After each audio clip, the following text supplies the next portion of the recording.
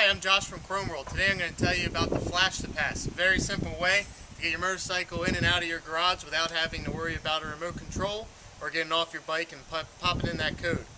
Now, you're going to get two pieces with this. This is the piece that goes on the inside. This is the piece that goes on your motorcycle. We'll go over the easy part first. The easy one is you just pop this face off. You got your two screws in the back for your garage door opener you just screw them on and you're done. If you got a fancy garage door opener with a lock and a light and all that, and you don't want to get rid of that, get a piece of wire, cut it about yay big, and just jump it off of that uh, control you have to this one, and you can still use this and use your uh, other one with your lock and light and all that. Now, if you're lucky enough to have an 1800, it's only going to take a few minutes to install an 1800.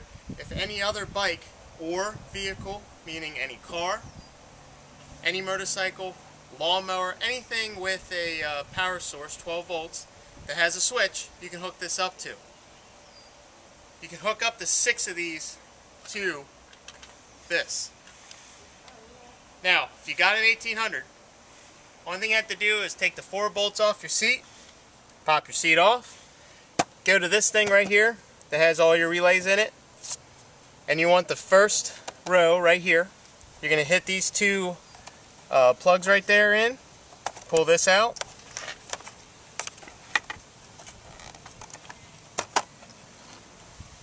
One thing you have to do is line up the two here, so that way you know it's the second one in, which is your high beam relay.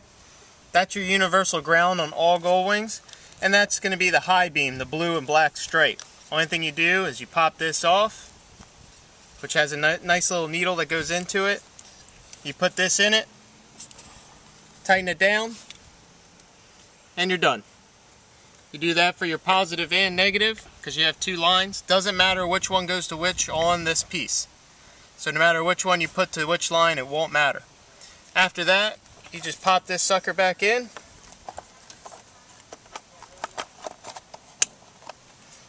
Make sure you hear the click.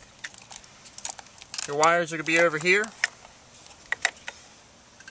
Take the zip tie that they supplied with you, wrap it around the frame here.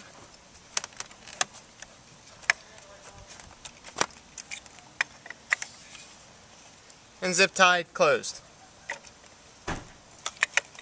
Then you can take some electrical tape and uh, make beautify this a little bit and tape it together. That way you don't have a bunch of strings laying around. Once you're done with that, only thing you have to do is come up here turn your bike on after you installed the piece on your wall and just hit your high beam twice. Garage door opens, hit it again, garage door closed. That's simple. I tell you what, I have one on my bike, actually on both my bikes. I'm about to put one on my lawnmower because I love it so much. It's the greatest thing. And you can't beat it when it's on sale. Have a great day.